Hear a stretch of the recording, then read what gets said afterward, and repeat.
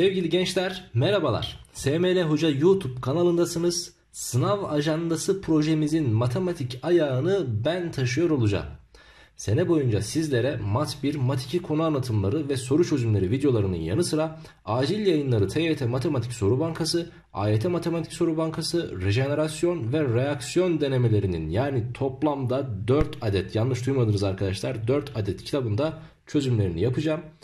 Hem konu ve e, soru çözümleri hem de acil matematik kitaplarının çözümleriyle beraber sizleri 2020 Milli Savunma Üniversitesi TYT ve AYT'ye en sağlam şekilde hazırlayacağım.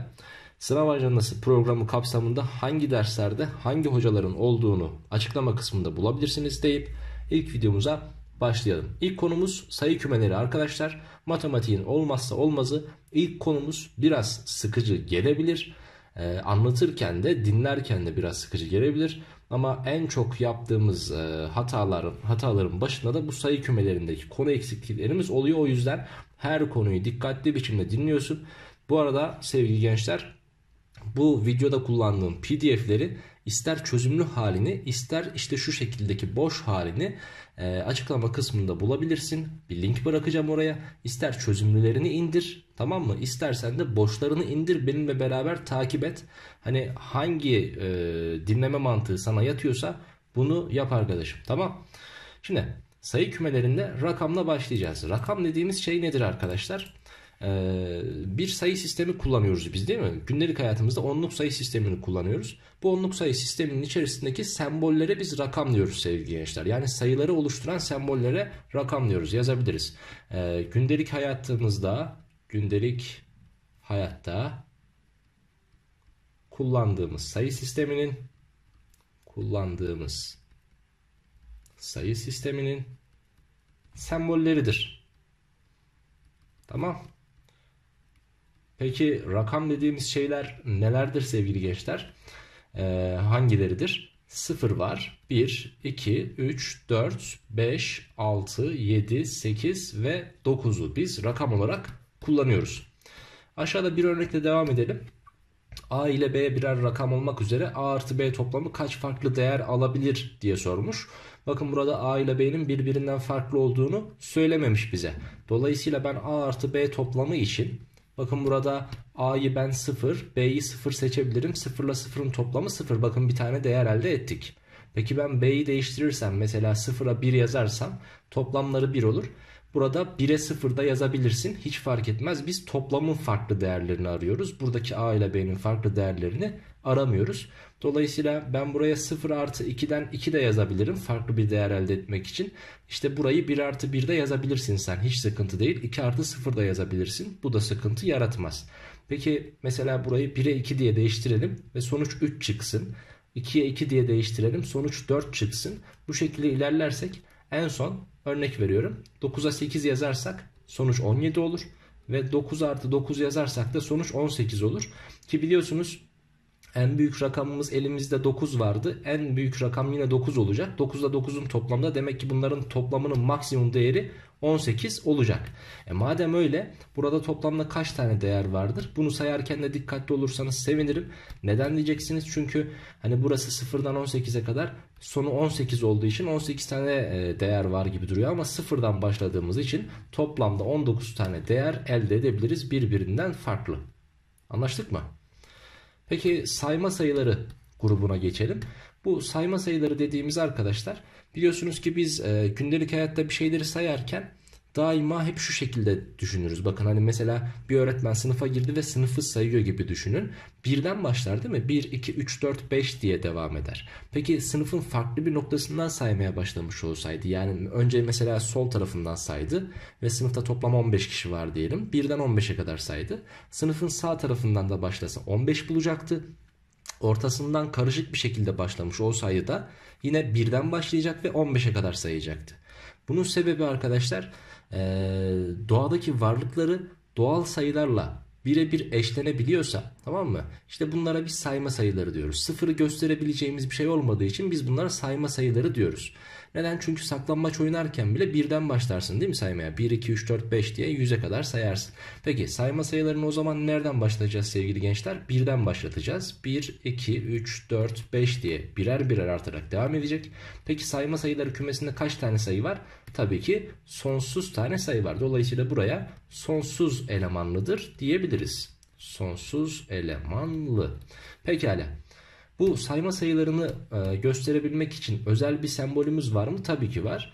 E, bunu genelde sadece Türkiye'de kullanıyoruz. S ile gösteriyoruz sayma sayılarını ama e, ÖSYM özellikle son yıllarda da pozitif doğal sayılar olarak gösterdiği için n'nin üzerine bir artı işareti koyuyoruz ve bu da doğal sayıların pozitifleri olarak nitelendiriliyor. Bizim anlayacağımız sayma sayılarını sevgili gençler ya S ile göstereceksiniz ya da N ile göstereceksiniz. N artı ile göstereceksiniz diyebiliriz. Pekala. Devam edelim bir diğer örnekle. Örneği iyi dinleyin. x eksi 5 ile x eksi 3 sayılarından sadece bir tanesi sayma sayısı olduğuna göre x'in alabileceği değerlerin toplamı nedir? Şimdi elimizde bizim bir x eksi 5 var bir de x eksi 3 var. Bunlardan sadece bir tanesi sayma sayısıymış değil mi? E peki ben bu şartı nasıl sağlattırırım diye düşündüğümüz zaman burada öncelikle dikkat etmemiz gereken şeylerden ilki şu. x eksi 5 ile x eksi 3 arasında ne kadar fark var?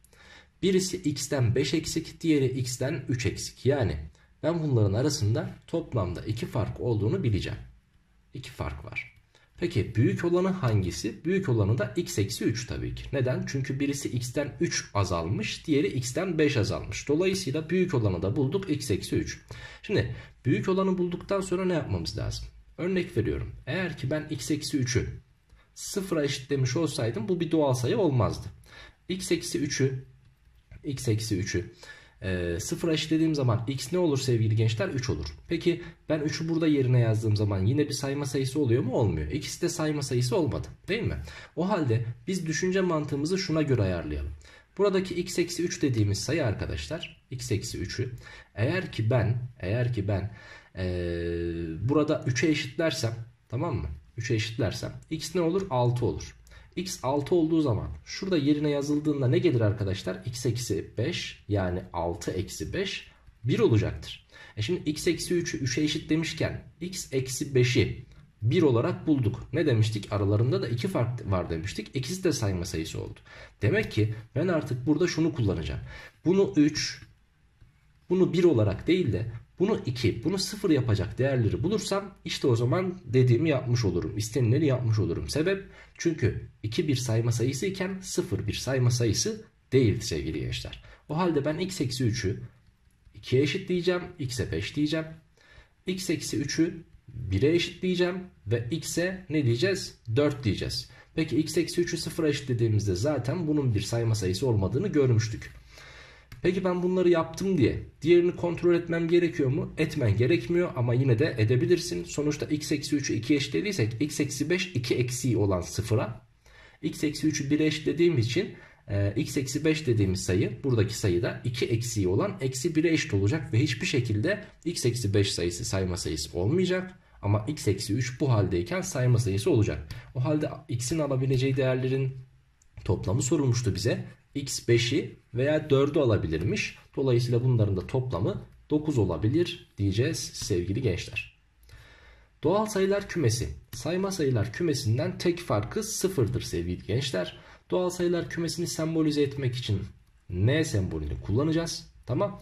Ve doğal sayılar kümesini oluşturacak olursak n eşittir diyelim. Sıfırdan başlar birer birer artar ve sonsuza kadar devam eder diyebiliriz. Bu sıfır sonradan bulunan bir e, rakamdır sevgili gençler. Hintli bir bilim adamı bulmuş. E, sıfırı ifade etmek ne işimize yarar? E, bir sayı kendisinden çıkarıldığı zaman elde edilen sayı nedir sorusuna yanıt olarak keşfedilmiş bir sayıdır. Tamam. E, pozitif e, doğal sayıları bu şekilde gösterdik. Burada pozitif doğal sayılar dediğimiz kısım vardı ya şurası. Burası neydi sevgili gençler? Sayma sayısıydı. Değil mi? Demek ki sayma sayısına ekstradan bir sıfır eklersek biz doğal sayılar kümesini elde edecekmişiz. Peki örneğimize bakalım. x eksi 5y ile 5y eksi x sayılarının her ikisi de doğal sayı olduklarına göre 2x eksi 10y artı 8 kaça eşittir diye sorulmuş bize. Bizim burada fark etmemiz gereken soruyu düşünürken x eksi 5y ile 5y eksi x'in okunuşları dahi birbirine benziyor. Peki ne fark var? Yerlerini değiştirerek okumuşuz ve e, şuraya baktığımız zaman x'in katsayısı pozitifken y'nin katsayısı negatif. Buraya bakıyorsun 5y'nin katsayısı negatif. 5y'nin katsayısı pozitifken x'in katsayısı negatif. Demek ki bunlar birbirinin eksilisi. Mesela x eksi 5y dediğimiz sayıya eğer ki ben 5 dersem 5y eksi x doğal sayısı da 5'in eksilisine yani eksi 5'e eşit olmak zorundaydı. Ama yukarıda da gördük ki eksi 5 diye bir sayımız yok bizim doğal sayılar kümesinde. Demek ki x eksi 5y dediğimiz doğal sayı bir pozitif tam sayı eşit olmayacak. E şimdi düşündüğümüz zaman şu kısım pozitifti. Pozitif olmayan tek sayı burada ne var? 0. Demek ki x eksi 5y sıfırmış. Neden böyle bir kan içerisine giriyoruz? x eksi 5y sıfırsa 5y eksi x de sıfırın eksilisi nedir arkadaşlar? Eksi 0. O da sıfırdır. Bu şekildeyken ikisini de doğal sayı yapmış oluruz. x eksi 5y sıfırsa x eşittir 5y diyebiliriz. Bize sorulan soru 2x eksi 10y artı 8'di. Değil mi? Peki ben x gördüğüm yere 5y yazamaz mıyım? Yazarım. İşte şuraya 5y'yi yazarsak 2 kere 5y 10y yapar. Eksi 10y artı 8 dersek burada 17'den 17'yi çıkarırsan 0 eşittir 8 diyebilirsin. Kaça eşittir diye sormuştu. 8'e eşittir dedik. Bu soruyu bitirdikten sonra tam sayılar kümesine değinelim. Tam sayılar kümesini sembolize etmek için z simgesini kullanırız. Z harfini kullanırız. Büyük Z'yi. Peki bunun doğal sayılardan veya sayma sayılardan farkı ne? Şudur. Ee, doğal sayılar kümesi ile doğal sayılar kümesi ile neyi birleştireceğiz burada? Sayma sayıların doğal sayılar ile sayma sayılarının eksilileri. Sayma sayılarının eksililerini birleş, e, birleştirirsek diyelim. Birleştirirsek tam sayılar kümesini oluştururuz. Tamam. Tam sayılar bulunur diyelim. Peki bunu küme halinde elemanlarını yazarsak nasıl yazarız? Z eşittir diyelim. Tamam. Tabi nereden gelecek? Eksi sonsuzdan gelecek. Eksi 3 diyelim. Eksi 2 diyelim. Eksi 1 diyelim. 0 diye biz bir referans noktamız olacak. 0'ı yazdık. Sonrasında devam edecek. 1, 2, 3 ve sonsuza kadar gidecek. Peki bunun kaç tane elemanı var? Doğal sayılar ve sayma sayıların olduğu gibi gene sonsuz tane eleman var. Tabi bunu kıyaslayamayız. Tam sayılarda mı daha fazla eleman var yoksa doğal sayılarda mı yoksa sayma sayılarında mı diye. Bunların hepsi sonsuzdur ve sonsuz sonsuzdan büyüktür diye bir şey de söyleyemeyiz. Tamam. Şimdi e, sıfırın sol tarafında kalan elemanlarına yani şuraya şu şekilde bir sembol atacağız. Z eksi yani negatif tam sayılar. Sıfırın sağ tarafında kalan elemanlarına z artı diyeceğiz. Yani pozitif tam sayılar. Peki sıfır burada e, ne halt yemeye duruyor? Tabii ki sıfıra da diyeceğiz ki işaretsiz sevgili gençler. Tamam. Buna işaretsiz diyeceğiz. İşareti yok. Nötr falan kullanmayacağız. Neden? Çünkü kimya veya fizik dersinde değiliz. Bunu kimyada veya fizikte e, artı veya eksi olmayan kutuplara nötr diyoruz ya. İşte biz diyeceğiz ki sıfır nötr değil ama sıfıra işaretsiz diyebiliriz. Bu taraf negatifler, bu taraf pozitifler, bu e, işaretsizdir deriz. Diğer örneğe bakalım. A ile B'yi bize ne vermiş? Bir tam sayı olarak vermiş. A B'den daha küçükmüş. B de eksi 7'den daha küçükmüş. Eşitsizliği sağlanıyor. A ile B'nin birbirinden farklı değerleri için A artı B'nin alabileceği en büyük değer nedir diye sorulmuş. Öncelikle bir sayı doğrusu düşünecek olursak Tamam bu sayı doğrusunun üzerinde şurası 0 olsun. Tamam referans noktamız 0. Eksi 7 de şurada olsun. Şimdi eksi 7'den daha küçük elemanları ben ne tarafta gösteriyordum sevgili gençler? Bu tarafta. Demek ki B burada bir yerdeymiş. A da burada bir yerdeymiş. Peki A artı B'nin alabileceği en büyük değer kaçtır diyor. Gençler şunu sakın unutmuyorsunuz. Sayı doğrusu üzerinde herhangi bir noktaya elinizi koydunuz. Tamam ve sağ tarafa doğru giderseniz mutlaka ama mutlaka sayıları büyütmüş olursunuz. Büyük sayılarla karşılaşırsınız. Seçtiğiniz yerden daha büyük sayılarla karşılaşırsınız. Dolayısıyla ben eksi 7'nin sağ tarafına geçemeyeceğim çünkü sayılarımız eksi 7'den daha küçük. Ben A ile B'yi büyük seçebilmek için eksi 7'ye en yakın tam sayıları seçmem lazım. E peki burada ne vardır? Eksi 8. E burada ne vardır? Eksi 9. Demek ki A'yı eksi 9, B'yi de eksi 8 seçersem ben A artı B'nin maksimum değerine ulaştırırım. Tamam bunların da toplamı eksi 17'dir diyebiliriz. Geçtik rasyonel sayılara. Rasyonel sayı dediğimiz ifadeyi, e, kümeyi anlayabilmek adına önce kesri tanımlamamız lazım. Kesir diyelim. Kesri nasıl tanımlarız? Şöyle diyeceğiz. Bu arada şunu kapatmayı unutmuşuz. Onu kapatıp tekrar yazalım sevgili gençler. Evet, kesir. Şimdi bakın. A ile B'yi tam sayı seçtiniz. Tamam? A ile B birer tam sayı. A ile B tam sayıyken eğer ki B'yi sıfırdan farklı seçersem ve bu sayıları bu tam, e, tam sayıları A bölü B, B biçiminde yazarsam işte buna biz kesir deriz. Tamam bu bir kesirdir. Bu kesirde şu kısma hatta ne, diye, ne deriz? Pay deriz. Buna payda deriz. Ortadaki çizgiye de kesir çizgisi diyeceğiz. E, kesirleri oluşturduktan sonra tam sayıları da biliyorduk ya artık. O halde diyelim ki kesirler ile kesirler ile tam sayıların oluşturduğu tam sayıların oluşturduğu küme oluşturduğu kümeye ne denir? Rasyonel sayılar kümesi denir. Rasyonel sayılar kümesi denir. Şimdi bunu peki nasıl sembolize, sembolize edeceğiz? Rasyonel sayıları hangi işaretle göstereceğiz, sembolle göstereceğiz? Q ile göstereceğiz sevgili gençler. Ee, bunun için ben diyorum ki bir de öğrenci tanımı var. Neden öğrenci tanımı diyorum? Çünkü matematiksel bir işlem yok. Herhangi bir şekilde tanım aklına tutmana gerek yok. Sadece şunu düşünmemiz gerekiyor. Tanım 2 diyelim.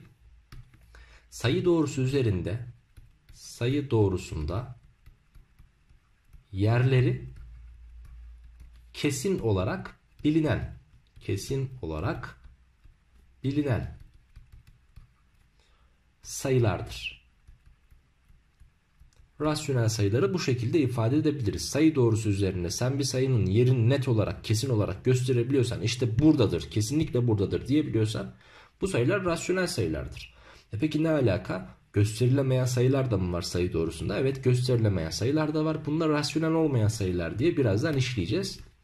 Örneğimize bakalım. Aşağıda üzerinde eşit aralıklarla e, noktalar alınmış bir sayı doğrusu verilmiştir. A ile B, A ile gösterilen nokta hangi rasyonel sayıdır? Şimdi şurayı 4 olarak vermişiz. Burası 5 olarak verilmiş ve 4 ile 5 aralığını kaç tane parçaya bölmüş? Buna bir kontrol edelim. Bakın. Burası bir parça, burası bir parça, ikinci, üçüncü, dördüncü, beşinci, altıncı parça. Demek ki 4 ile 5 aralığını 6 tane eşit parçaya bölmüş. Peki 4'ün 5'e veya 5'in 4'e olan uzaklığı kaç birimdir sevgili gençler? Sayısal olarak 1 birimdir. E peki ee, bir birim ama şöyle bir durum var. Kaça bölmüş arkadaşlar? 6'ya bölmüş demiş, demiştik. 1 bölü 6. Bu bulduğumuz 1 bölü 6 ne demek? Buradaki her bir uzunluğun sayısal değeri demek. 1 bölü 6. Bunların her biri 1 bölü 6 birim uzunluğundadır.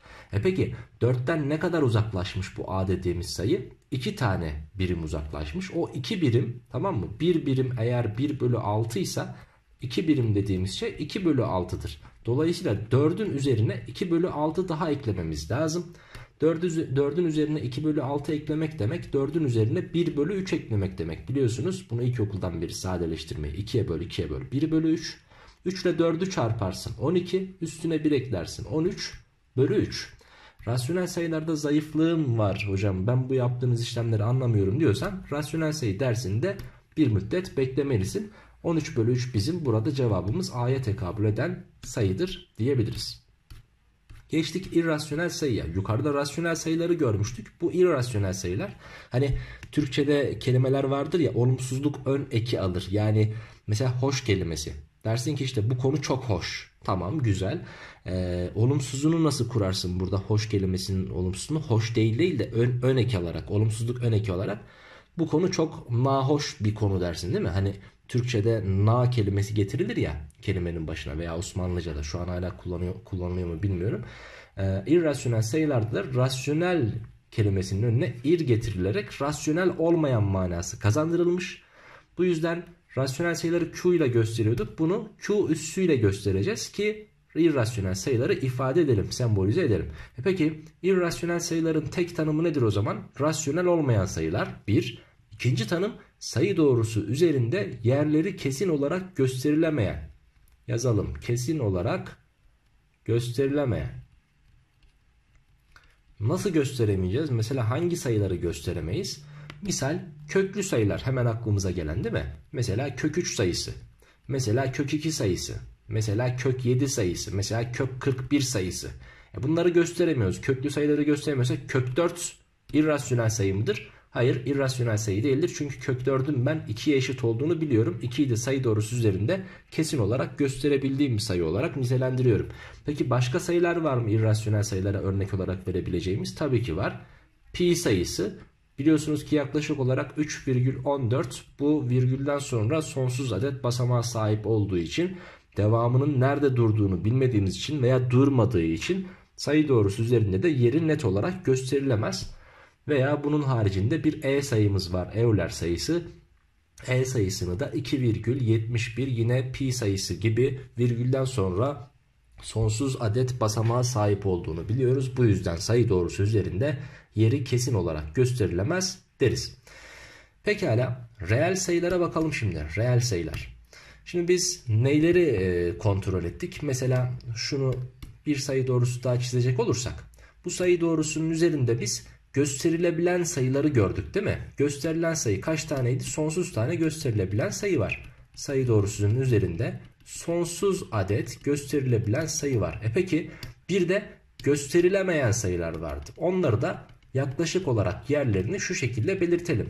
E madem öyle sayı doğrusu üzerinde gösterilebilen sayılar artı gösterilemeyen sayıların hepsi bize reel sayıları verir. Yani biz reel sayıları şu şekilde ifade edebiliriz sayı doğrusunun tamamı.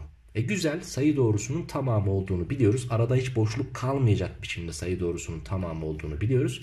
E madem öyle o halde biz bunun tanımını sayı doğrusu üzerinde gösterilebilen sayıları Q ile yani rasyonel sayılar olarak göstermiştik.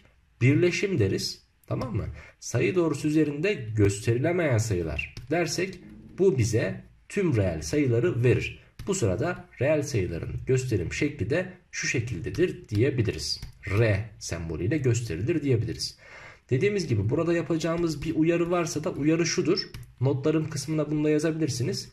Reel sayılar reel sayılar tüm sayı kümelerini tüm sayı kümelerini silelim kümelerini kapsamaz diyeyim.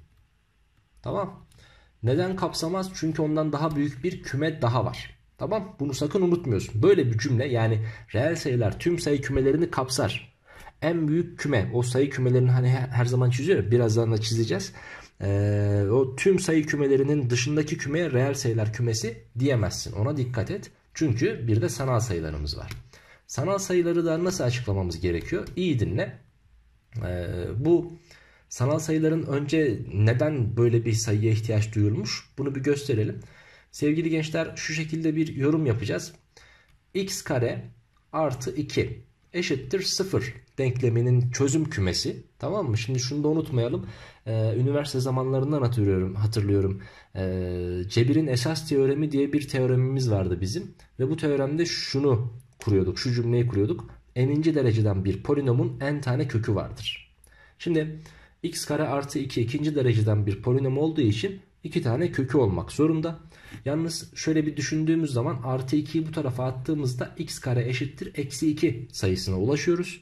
Ve şimdiye kadar öğrendiğimiz sayı çeşitlerinden herhangi bir sayı seçip karesini aldığımız zaman bunun da pozitif olması gerektiğini biliyoruz. Yani hiçbir reel sayının karesi negatif olamaz cümlesini de kurabiliriz.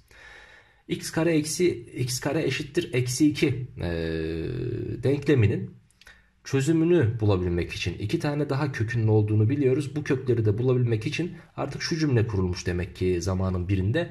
E, demek ki bizim şimdiye kadar bulduğumuz, kafamızdan uydurduğumuz, matematiğe uyarladığımız sayıların hiçbiri de bu denklemi çözmeye yetmiyor. Bu denklemi çözebilmek adına yeni bir sayı çeşidi daha bulmamız gerekiyor deyip işte o sayı çeşidini bulmuşlar. Burada i sayısından bahsedeceğiz.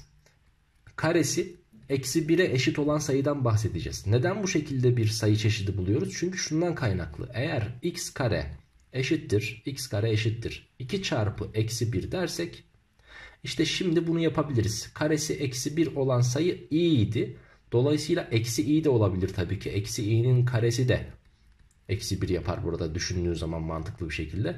O halde burada x'i kök 2 i veya x'i eksi kök 2 i biçiminde de dışarı çıkarabiliriz. İşte denklemin iki tane kökünü bulmuş olduk. E peki sanal sayıların veya karmaşık sayıları tabii ki. Bunun yanına karmaşık sayı da yazabilirsin. Karmaşık sayılar veya kompleks sayılar da diyebilirsin. Kompleks sayı da diyebilirsin. Kompleks karmaşık demek değil mi? Pekala. O halde şöyle diyelim mi? A ile B A ile B bir reel sayı olsun. Reel sayılara ihtiyaç duyacağız. Neden? Çünkü şimdiye kadar hep kullandığımız sayı tipi bunlardı. Reel sayılardı. i kare dediğimiz sayı da eksi 1'e eşit olmak üzere diyelim. Olmak üzere. Şimdi ne yapmamız gerekiyor? Oluşturalım. A artı ib biçiminde yazabildiğimiz sayıların hepsi de kompleks sayıdır. Kompleks sayıyı hangi sembolle göstermemiz gerekiyor sevgili gençler? C ile göstereceğiz. Tamam. A artı ib bir kompleks sayıdır. Tüm sayı kümelerini kapsayan küme de budur. Sanal sayılardır. Kompleks sayılardır. E peki şu cümleyi buraya yazabilir miyiz o halde? Her sayı her sayı bir karmaşık sayıdır. Karmaşık sayıdır.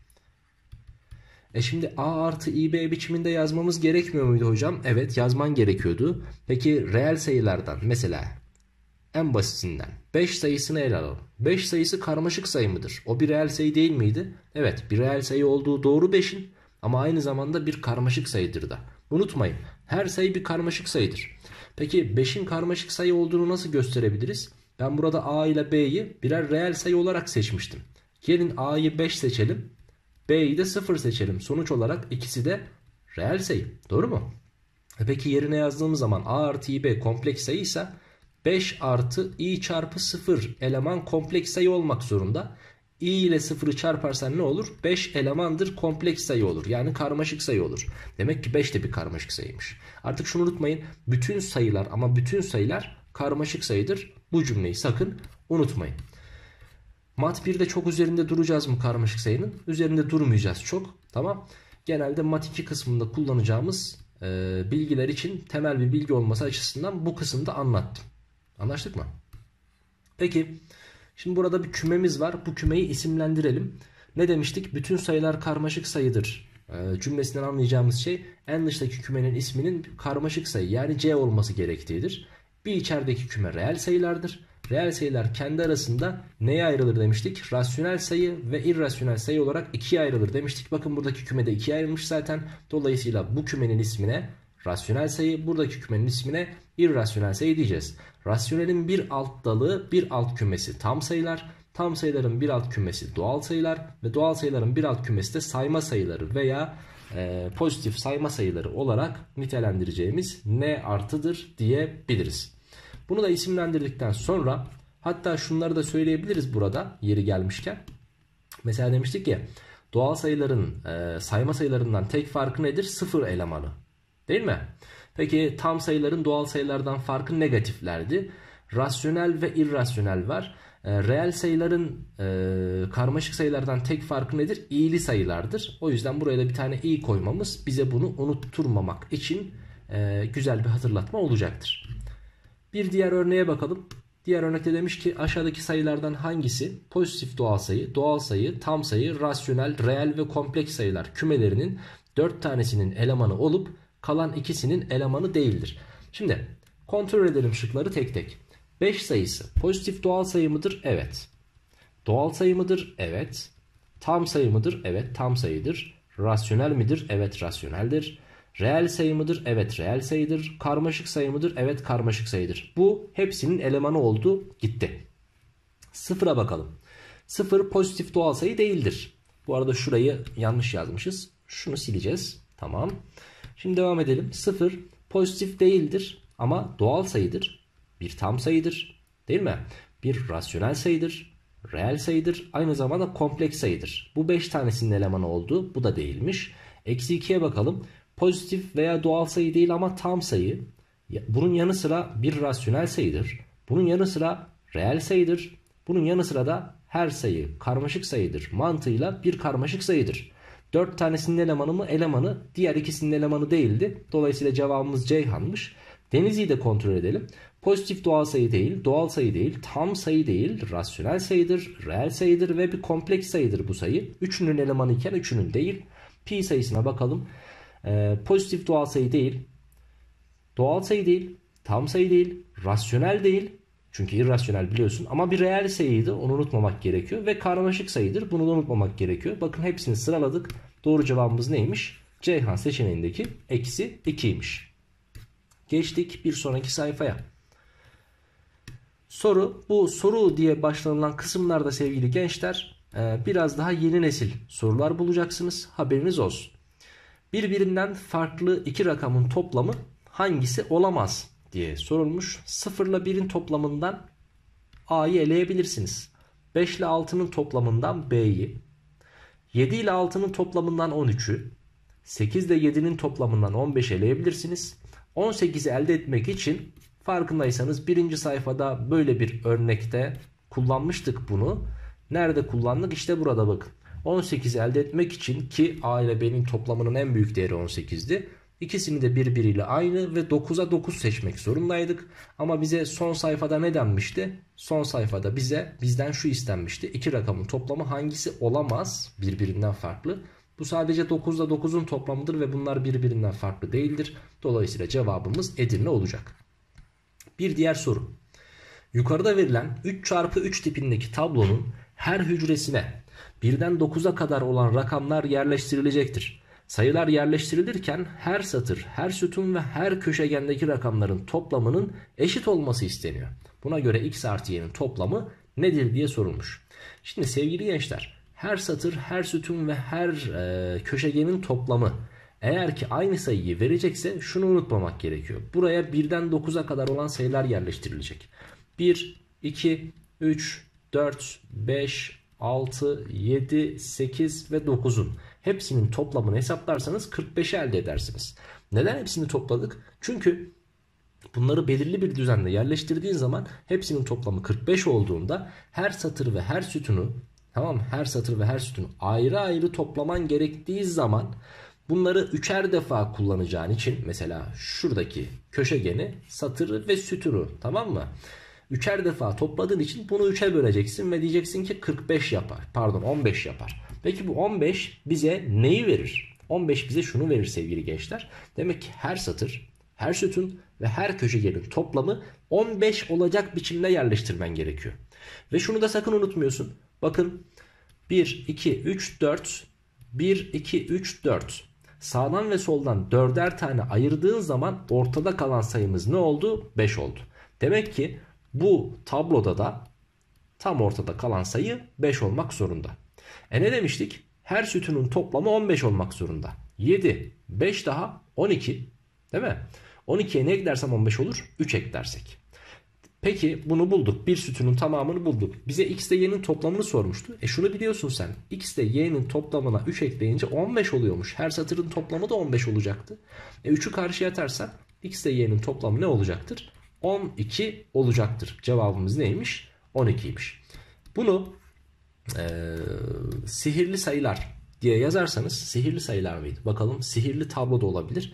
Sihirli kare özür dilerim çok özür dilerim. Sihirli kare diye Google'a yazarsanız burada da benzer tiplerini bulacaksınız.